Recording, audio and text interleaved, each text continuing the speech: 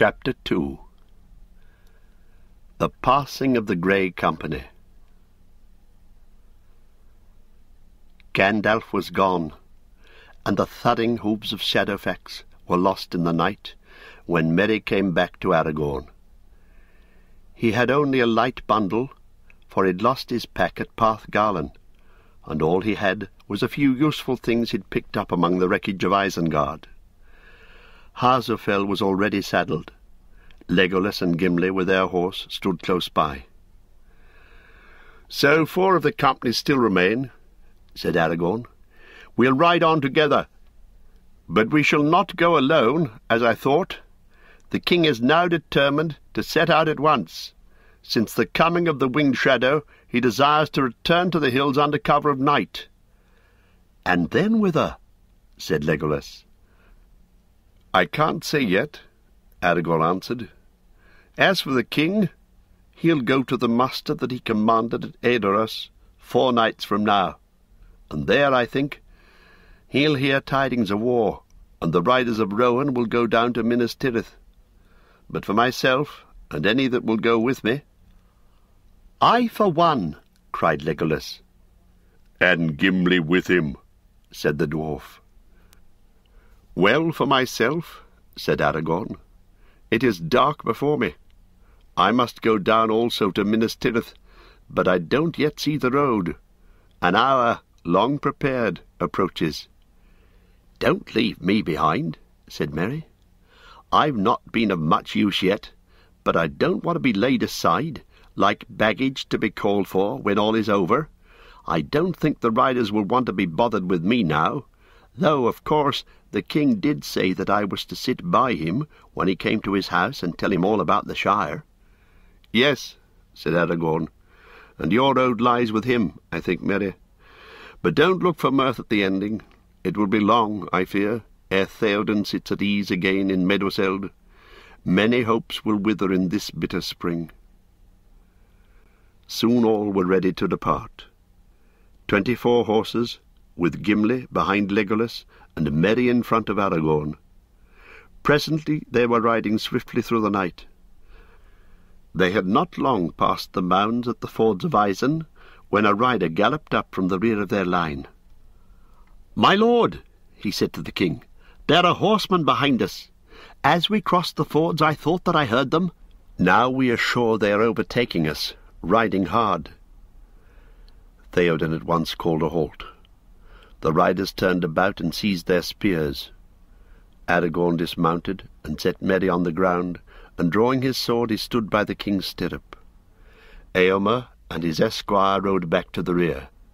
Merry felt more like unneeded baggage than ever, and he wondered, if there was a fight, what he should do. Supposing the king's small escort was trapped and overcome, but he escaped into the darkness, alone in the wild fields of Rohan, with no idea of where he was in all the endless miles? No good, he thought. He drew his sword and tightened his belt. The sinking moon was obscured by a great sailing cloud, but suddenly it rode out clear again. Then they all heard the sound of hoofs, and at the same moment they saw dark shapes coming swiftly on the path from the fords. The moonlight glinted here and there on the points of spears. The number of the pursuers could not be told, but they seemed no fewer than the king's escort, at the least. When they were some fifty paces off, Eomer cried in a loud voice, "Halt! Halt! Who rides in Rohan?"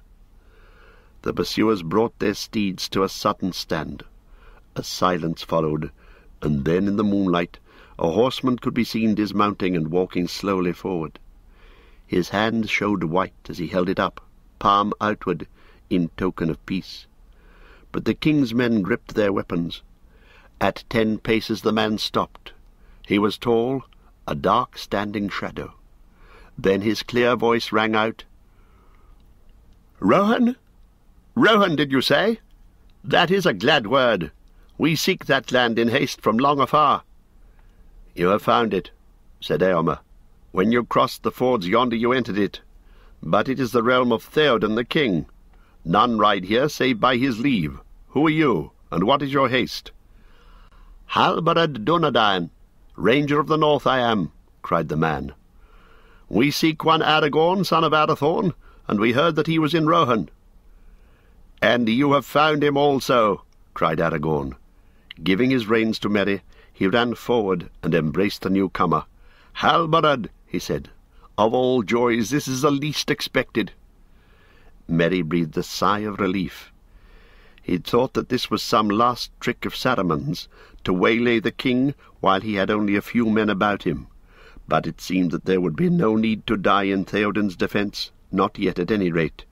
He sheathed his sword. All is well, said Aragorn, turning back. Here are some of my own kin from the far land where I dwelt. But why they come, and how many they be, Halbarad shall tell us. I have thirty with me, said Halbarad. That is all of our kindred that can be gathered in haste. But the brethren Elladan and Elrohir have ridden with us, desiring to go to the war. We rode as swiftly as we might when your summons came. But I didn't summon you, said Aragorn, save only in wish.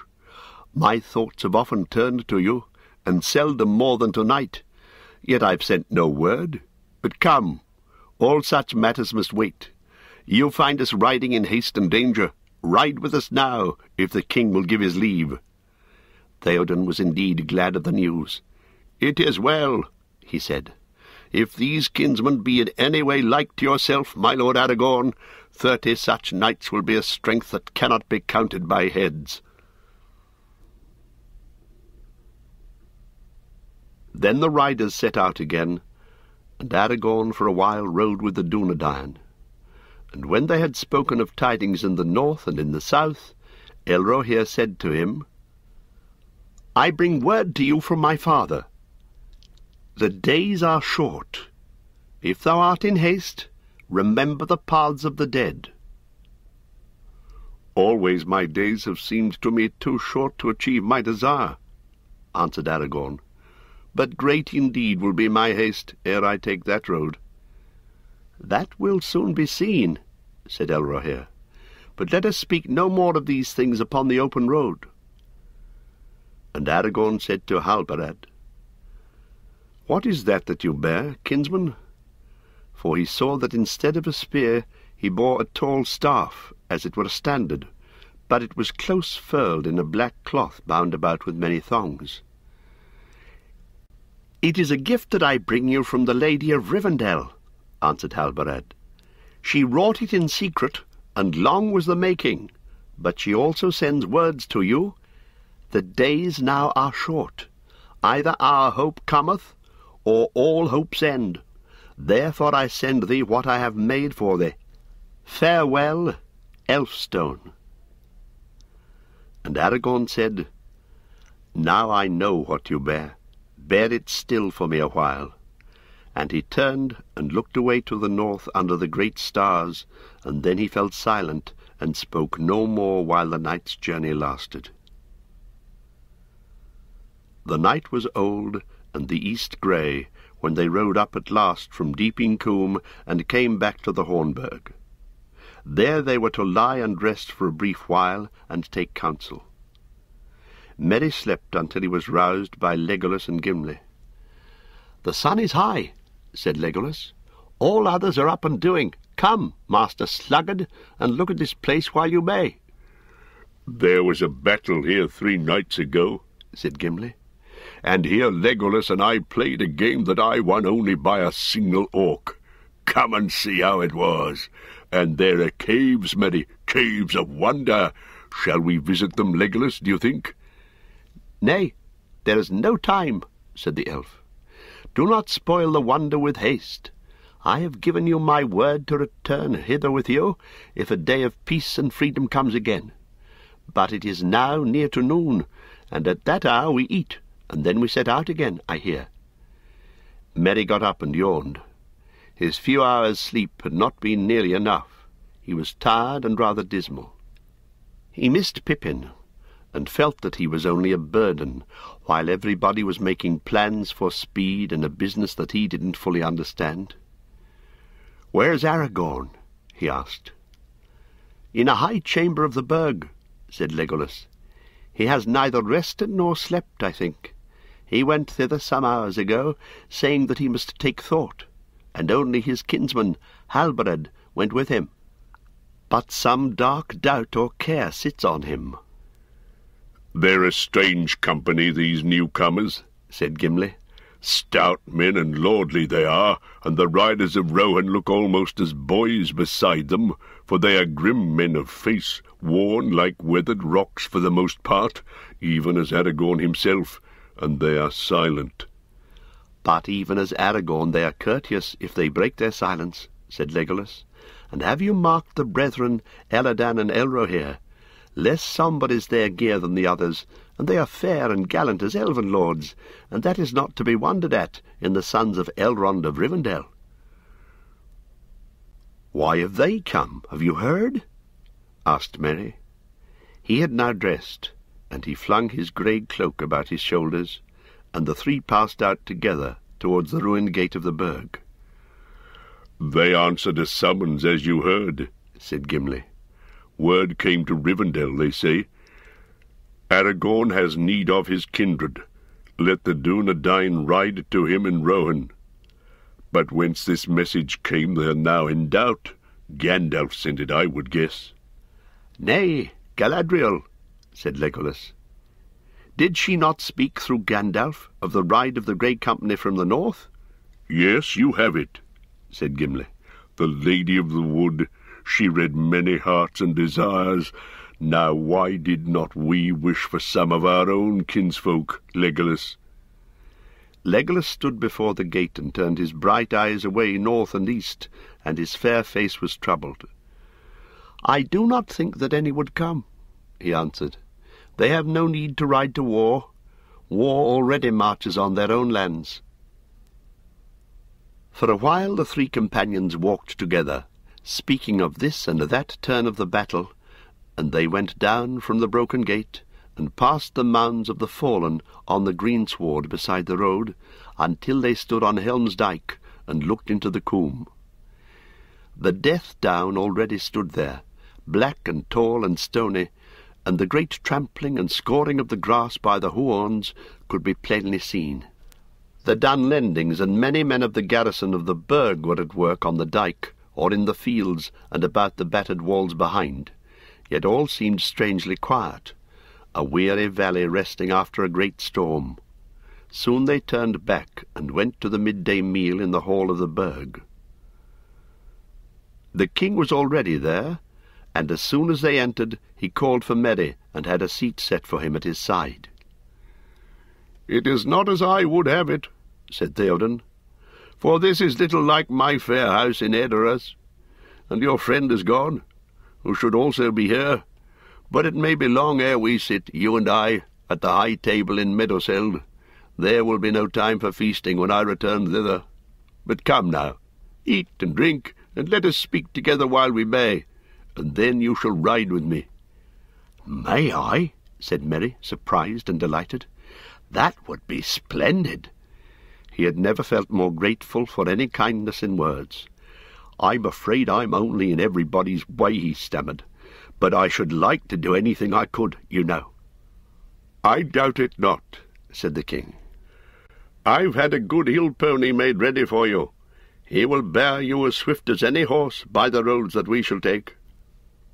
For I will ride from the burg by mountain paths, not by the plain, and so come to Edoras by way of Dunharrow, where the Lady Eowyn awaits me. You shall be my esquire, if you will. Is there gear of war in this place, Eomer, that my sword thain could use? There are no great weapon hoards here, lord, answered Eomer. Maybe a light helm might be found to fit him, but we have no mail or sword for one of his stature. I have a sword, said Merry, climbing from his seat, and drawing from its black sheath his small bright blade. Filled suddenly with love for this old man, he knelt on one knee, and took his hand and kissed it. "May I lay the sword of Meriadoc of the Shire on your lap, Theoden King?" he cried. "Receive my service if you will." "Gladly will I take it," said the king, and laying his long old hands upon the brown hair of the hobbit, he blessed him. Rise now, Meriadoc, esquire of Rohan of the household of Meduseld, he said. Take your sword and bear it unto good fortune. As a father you shall be to me, said Merry. For a little while, said Theoden. They talked then together as they ate, until presently Eomer spoke. It is near the hour that we set for our going, lord, he said. Shall I bid men sound the horns? But where's Aragorn? His place is empty, and he hasn't eaten. We will make ready to ride, said Theoden. But let word be sent to the Lord Aragorn that the hour is nigh. The king with his guard and many at his side passed down from the gate of the burg to where the riders were assembling on the green. Many were already mounted. It would be a great company, for the king was leaving only a small garrison in the burg, and all who could be spared were riding to the wapentake at Edoras. A thousand spears had indeed already ridden away at night, but still there would be some five hundred more to go with the king, for the most part men from the fields and dales of Westfold. A little apart the rangers sat, silent, in unordered company, armed with spear and bow and sword. They were clad in cloaks of dark grey, and their hoods were cast now over helm and head. Their horses were strong and of proud bearing, but rough-haired, and one stood there without a rider, Aragorn's own horse that they had brought from the north. Roheryn was his name, there was no gleam of stone or gold, nor any fair thing in all their gear and harness, nor did their riders bear any badge or token, save only that each cloak was pinned upon the left shoulder by a brooch of silver shaped like a rayed star.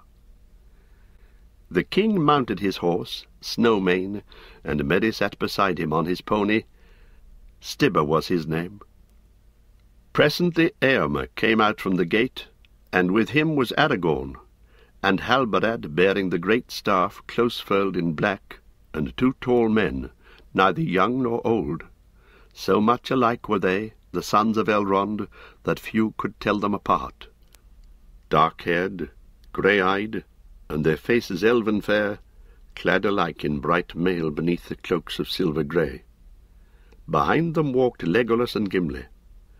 But Merry had eyes only for Aragorn, so startling was the change that he saw in him, as if in one night many years had fallen on his head.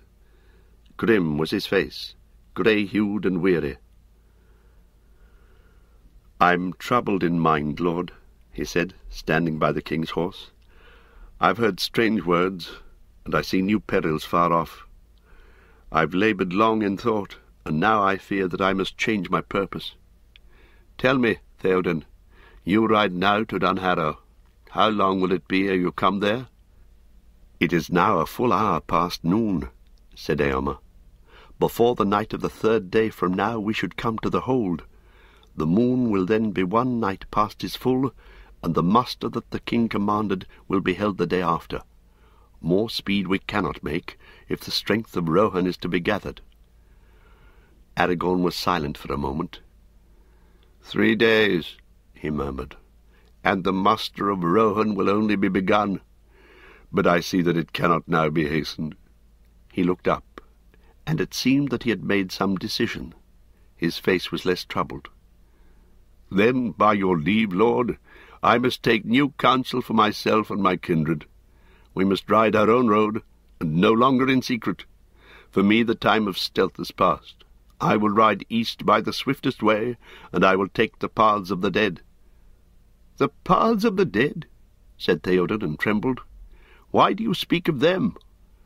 Eomer turned and gazed at Aragorn, and it seemed to Merry that the faces of the riders that sat within hearing turned pale at the words. If there be in truth such paths, said Theoden, their gate is in Dunharrow, but no living man may pass it. Alas, Aragorn, my friend, said Eomer, I had hoped that we should ride to war together, but if you seek the paths of the dead, then our parting is come, and it is little likely that we shall ever meet again under the sun. That road I will take none the less, said Aragorn. But I say to you, Eomer, that in battle we may yet meet again, though all the hosts of Mordor should stand between. You will do as you will, my lord Aragorn, said Theoden. It is your doom, maybe, to tread strange paths that others dare not. This parting grieves me, and my strength is lessened by it. But now I must take the mountain roads and delay no longer. Farewell. Farewell, lord, said Aragorn. Ride unto great renown. Farewell, Merry.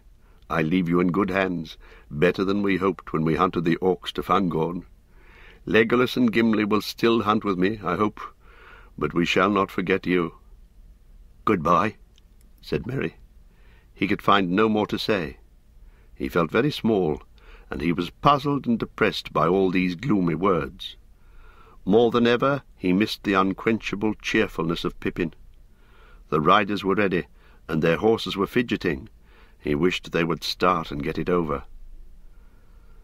Now Theoden spoke to Eomer, and he lifted up his hand and cried aloud, and with that word the riders set forth.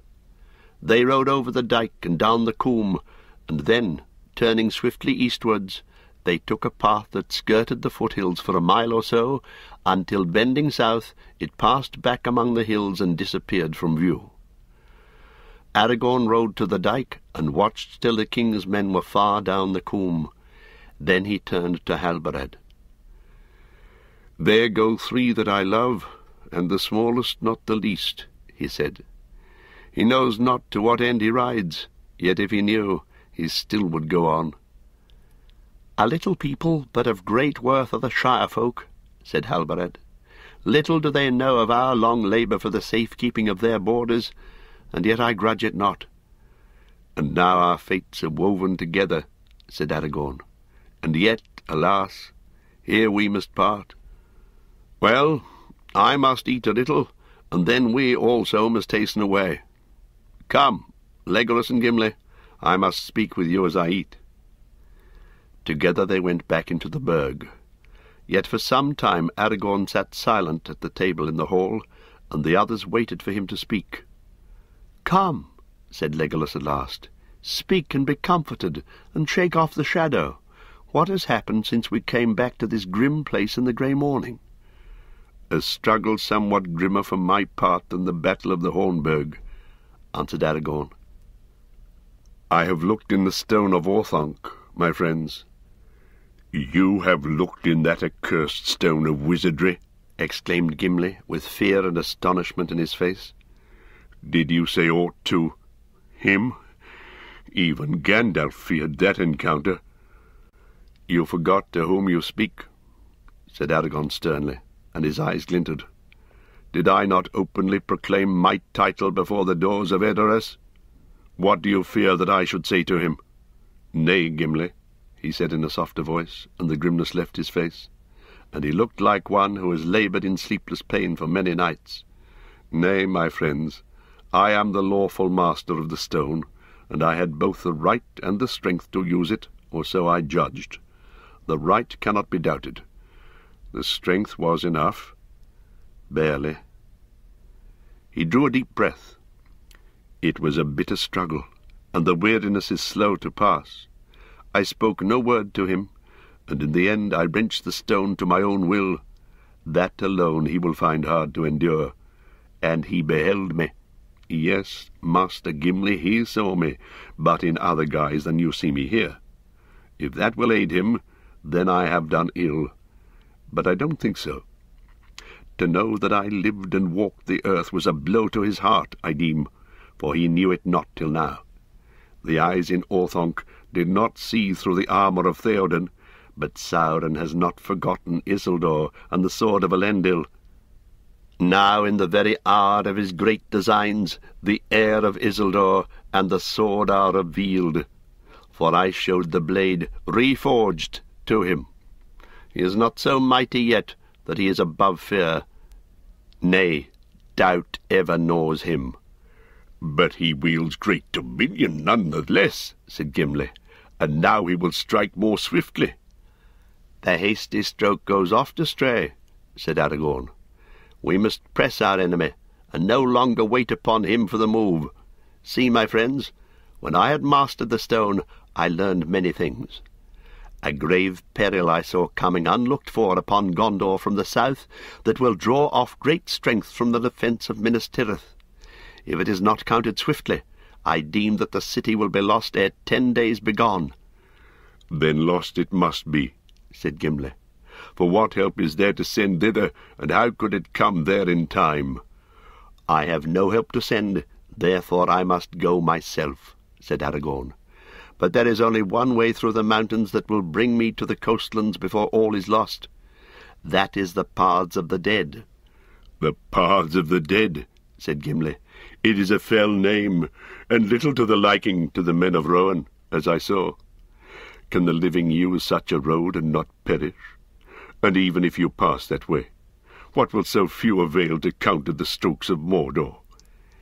The living have never used that road since the coming of the Rohirrim, said Aragorn, for it is closed to them. But in this dark hour the heir of Isildur may use it, if he dare. Listen. This is the word that the sons of Elrond bring to me from their father in Rivendell, wisest in law. Bid Aragorn remember the words of the seer and the paths of the dead. But what may be the words of the seer? said Legolas. Thus spoke Malbeth the seer in the days of Arvedui, last king at Fornost, said Aragorn. Over the land there lies a long shadow, westward reaching wings of darkness. The tower trembles, to the tombs of kings doom approaches, the dead awaken, for the hour is come for the oath breakers. At the stone of Erech they shall stand again, and hear there a horn in the hills ringing. Whose shall the horn be? Who shall call them from the grey twilight, the forgotten people, the heir of him to whom the oath they swore? From the north shall he come, need shall drive him, he shall pass the door to the paths of the dead. Dark ways, doubtless, said Gimli, but no darker than these staves are to me. If you would understand them better, then I bid you come with me, said Aragorn, for that way I now shall take. But I don't go gladly, only need drives me. Therefore, only of your free will would I have you come for you'll find both toil and great fear, and maybe worse. I will go with you even on the paths of the dead, and to whatever end they may lead, said Gimli. I also will come, said Legolas, for I don't fear the dead. I hope that the forgotten people will not have forgotten how to fight, said Gimli, for otherwise I see not why we should trouble them. That we shall know if ever we come to Erech, said Aragorn. But the oath that they broke was to fight against Sauron, and they must fight therefore, if they are to fulfil it. For at Erech there stands yet a black stone that was brought, it was said, from Numenor by Isildur. And it was set upon a hill, and upon it the king of the mountains swore allegiance to him in the beginning of the realm of Gondor. But when Sauron returned, and grew in might again, Isildur summoned the men of the mountains to fulfil that oath, and they would not, for they had worshipped Sauron in the dark years. Then Isildur said to their king, Thou shalt be the last king, and if the west prove mightier than thy black master, this curse I lay upon thee and thy folk, to rest never until your oath is fulfilled. For this war will last through years uncounted, and you shall be summoned once again ere the end. And they fled before the wrath of Isildur, and did not dare to go forth to war on Sauron's part. And they hid themselves in secret places in the mountains, and had no dealings with other men, but slowly dwindled in the barren hills. And the terror of the sleepless dead lies about the hills of Erech, and all places where that people lingered. But that way I must go, since there are none living to help me. He stood up. Come, he cried, and drew his sword, and it flashed in the twilight hall of the burg. To the stone of Erech! I seek the paths of the dead. Come with me who will. Legolas and Gimli made no answer, but they rose and followed Aragorn from the hall. On the green there waited, still and silent, the hooded rangers. Legolas and Gimli mounted. Aragorn sprang upon Roheryn. Then Halbarad lifted a great horn, and the blast of it echoed in Helm's Deep. And with that they leapt away, riding down the coombe like thunder, while all the men that were left on the dyke or burg stared in amaze. And while Theoden went by slow paths in the hills, the grey company passed swiftly over the plain, and on the next day in the afternoon they came to Edoras, and there they halted only briefly, ere they passed up the valley, and so came to Dunharrow as darkness fell. The Lady Eowyn greeted them, and was glad of their coming, for no mightier men had she seen than the Dunedain and the fair sons of Elrond. But on Aragorn most of all her eyes rested. And when they sat at supper with her, they talked together, and she heard of all that had passed since Theoden rode away, concerning which only hasty tidings had yet reached her. And when she heard of the battle in Helm's Deep, and the great slaughter of their foes, and of the charge of Theoden and his knights, then her eyes shone. But at last she said, Lords, you are weary, and shall now go to your bed with such ease as can be contrived in haste. But tomorrow fairer housing shall be found for you. But Aragorn said, Nay, lady, be not troubled for us. If we may lie here tonight and break our fast tomorrow, it will be enough. For I ride on an errand most urgent, and with the first light of morning we must go. She smiled on him and said, Then it was kindly done, Lord, to ride so many miles out of your way to bring tidings to Eowyn, and to speak with her in her exile. Indeed, no man could count such a journey wasted, said Aragorn. And yet, lady, I could not have come hither if it were not that the road which I must take leads me to Dunharrow and she answered as one that likes not what is said. Then, Lord, you are astray. For out of Harrowdale no road runs east or south, and you had best return as you came. Nay, lady, he said, I am not astray, for I walked in this land ere you were born to grace it. There's a road out of this valley, and that road I shall take. Tomorrow I shall ride by the paths of the dead. Then she stared at him as one that is stricken, and her face blanched. And for long she spoke no more, while all sat silent. But Aragorn, she said at last, is it then your errand to seek death? For that is all that you will find on that road. They do not suffer the living to pass. They may suffer me to pass, said Aragorn. But at the least I will adventure it. No other road will serve. But this is madness, she said, for here are men of renown and prowess, whom you should not take into the shadows, but should lead to war, where men are needed. I beg you to remain and ride with my brother, for then all our hearts will be gladdened, and our hope be the brighter. It is not madness, lady, he answered, for I go on a path appointed. But those who follow me do so of their free will, and if they wish now to remain and ride with the Rohirrim, they may do so, but I shall take the paths of the dead alone, if needs be. Then they said no more, and they ate in silence, but her eyes were ever upon Aragorn, and the others saw that she was in great torment of mind. At length they arose, and took their leave of the lady, and thanked her for her care, and went to their rest.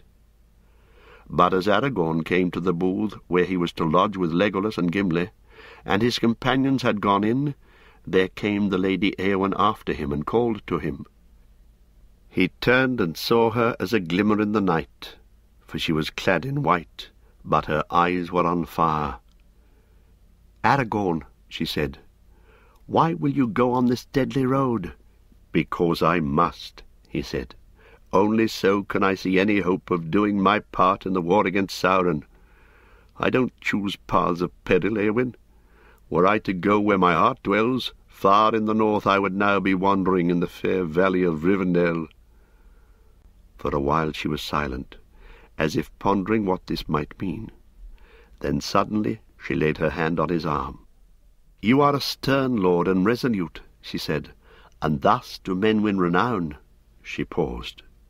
Lord, she said, if you must go, then let me ride in your following, for I am weary of skulking in the hills and wish to face peril and battle.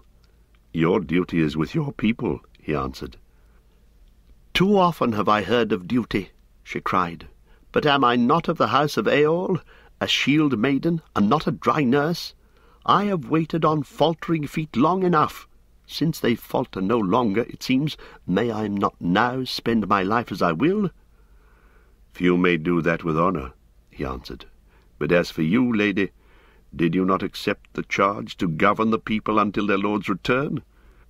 If you had not been chosen, then some marshal or captain would have been set in the same place, and he could not ride away from his charge, were he weary of it or no. Shall I always be chosen? she said bitterly. Shall I always be left behind when the riders depart, to mind the house while they win renown, and find food and beds when they return? A time may come soon, said he, when none will return. Then there will be need of valour without renown, for none shall remember the deeds that are done in the last defence of your homes. Yet the deeds will not be less valiant because they are unpraised. And she answered, All your words are but to say, You are a woman, and your part is in the house. But when the men have died in battle and honour, you have leave to be burned in the house, for the men will need it no more.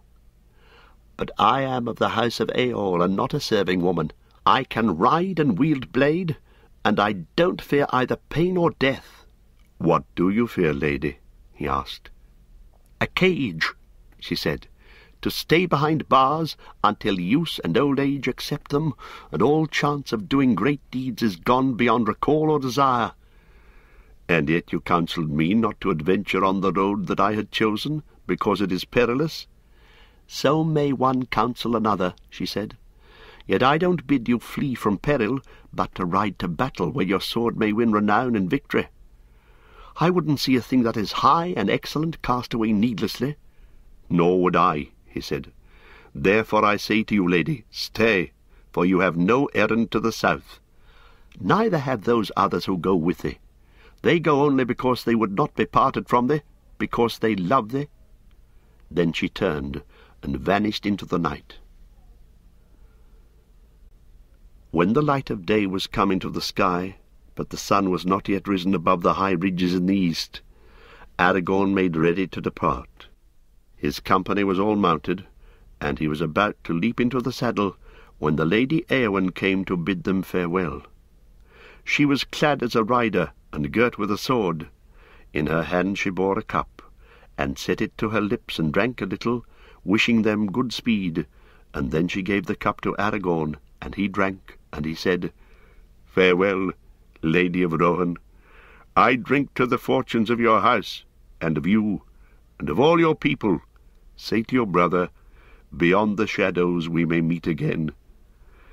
Then it seemed to Gimli and Legolas, who were near by, that she wept, and in one so stern and proud that seemed the more grievous. But she said, Aragorn, wilt thou go? I will, he said. Then wilt thou not let me ride with this company, as I have asked? I will not, lady, he said, for that I could not grant without leave of the king and of your brother, and they will not return until tomorrow. But I count now every hour, indeed every minute. Farewell. Then she fell on her knees, saying, I beg thee. Nay, lady, he said, and taking her by the hand he raised her. Then he kissed her hand, and sprang into the saddle and rode away, and he did not look back. And only those who knew him well and were near to him saw the pain that he bore.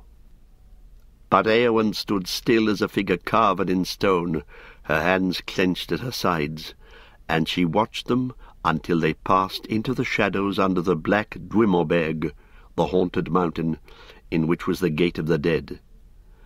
When they were lost to view, she turned, stumbling as one that is blind, and went back to her lodging. But none of her folk saw this parting, for they hid themselves in fear, and would not come forth until the day was up, and the reckless strangers were gone. And some said, They are elvish wights. Let them go where they belong, into the dark places, and never return. The times are evil enough. The light was still grey as they rode, for the sun had not yet climbed over the black ridges of the haunted mountain before them. A dread fell on them, even as they passed between the lines of ancient stones, and so came to the Dimholt. There, under the gloom of black trees that not even Legolas could long endure, they found a hollow place, opening at the mountain's root, and right in their path stood a single mighty stone, like a finger of doom.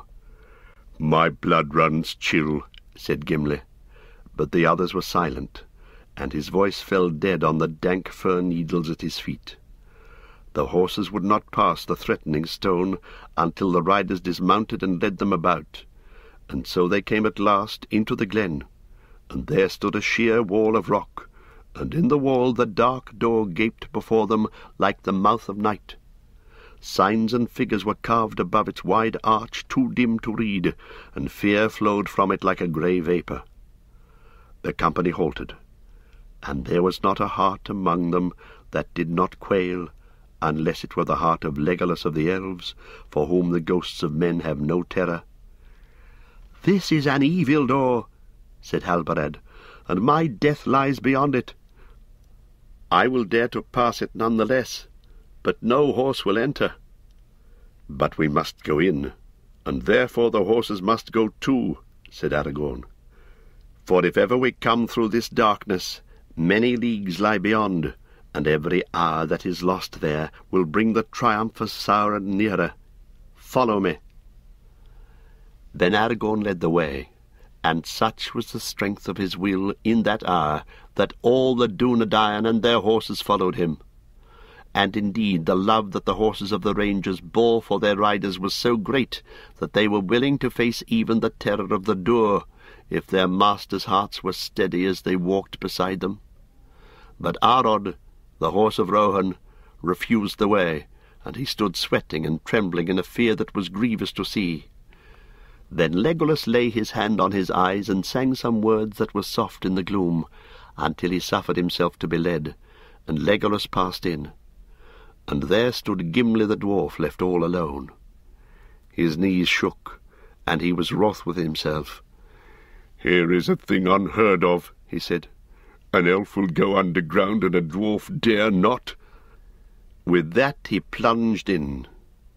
But it seemed to him that he dragged his feet like lead over the threshold, and at once a blindness came upon him, even upon Gimli, Gloin's son, who had walked unafraid in many deep places of the world. Aragorn had brought torches from Dunharrow, and now he went ahead bearing one aloft, and Elladan with another went at the rear, and Gimli, stumbling behind, strove to overtake him. He could see nothing but the dim flame of the torches, but if the company halted, there seemed an endless whisper of voices all about him, a murmur of words in no tongue that he had ever heard before. Nothing assailed the company, nor withstood their passage, and yet steadily fear grew on the dwarf as he went on. Most of all because he knew now that there could be no turning back. All the paths behind were thronged by an unseen host that followed in the dark. So time unreckoned passed, until Gimli saw a sight that he was ever afterwards loath to recall. The road was wide, as far as he could judge, but now the company came suddenly into a great empty space, and there were no longer any walls upon either side. The dread was so heavy on him that he could hardly walk. Away to the left something glittered in the gloom as Aragorn's torch drew near. Then Aragorn halted and went to look what it might be. Does he feel no fear? muttered the dwarf. In any other cave Gimli, Gloin's son, would have been the first to run to the gleam of gold, but not here.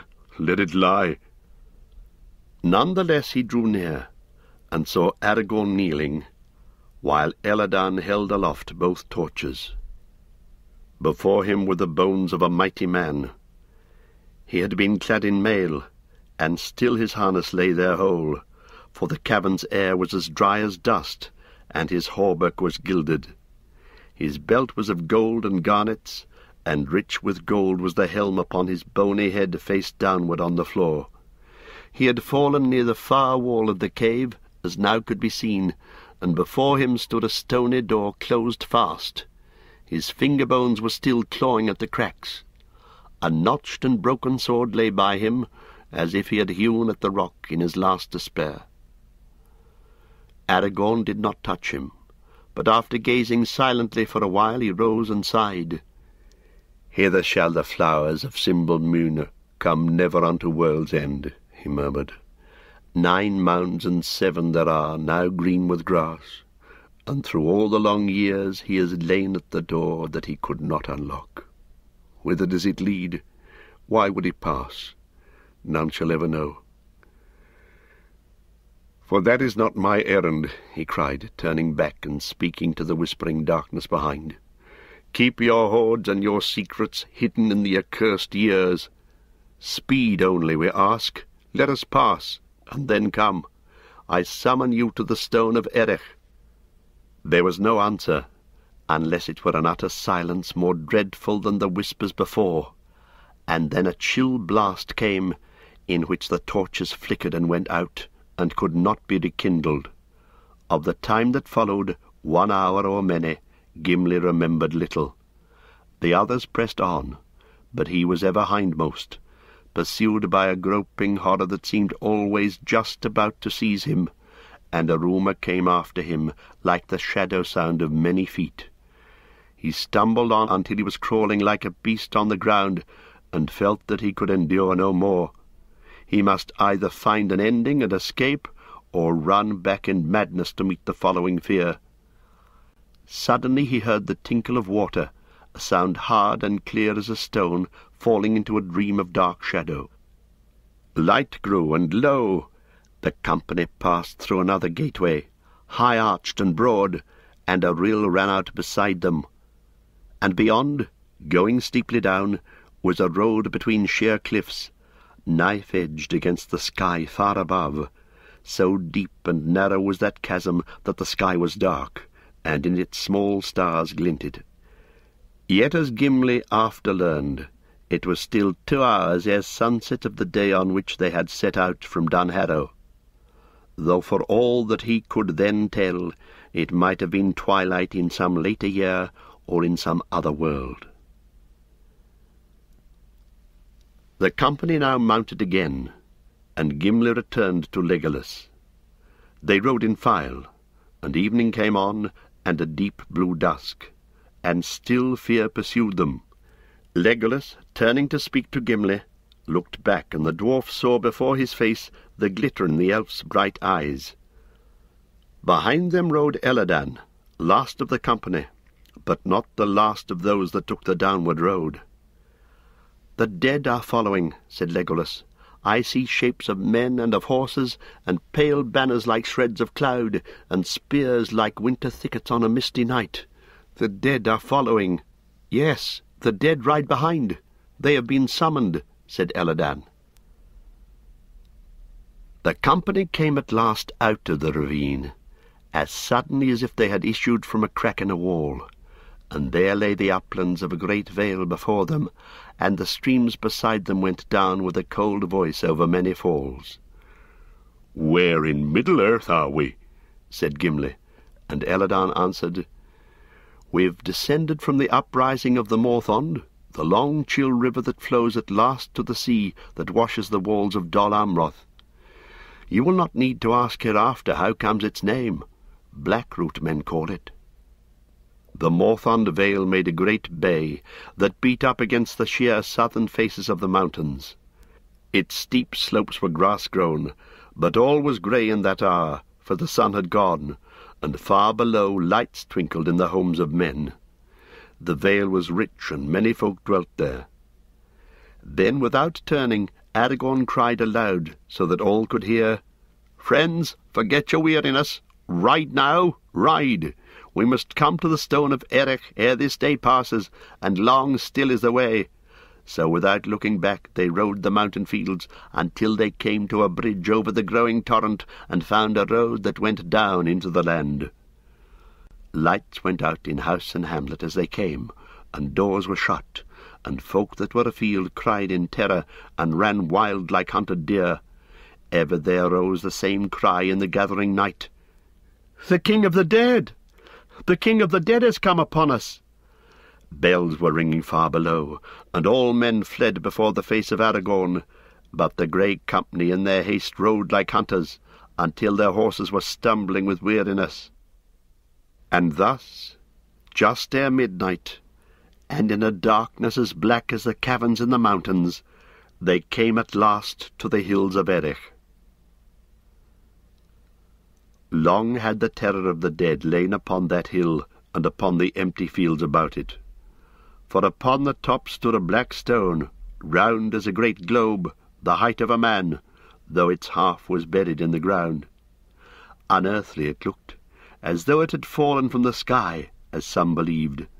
But those who remembered still the lore of Westernesse told that it had been brought out of the ruin of Numenor, and there set by Isildur at his landing. None of the people of the valley dared to approach it, nor would they dwell near for they said that it was a trysting place of the shadow men, and there they would gather in times of fear, thronging round the stone and whispering. To that stone the company came and halted in the dead of night. Then Elrohir gave to Aragorn a silver horn, and he blew upon it, and it seemed to those that stood near that they heard a sound of answering horns, as if it was an echo in deep caves far away.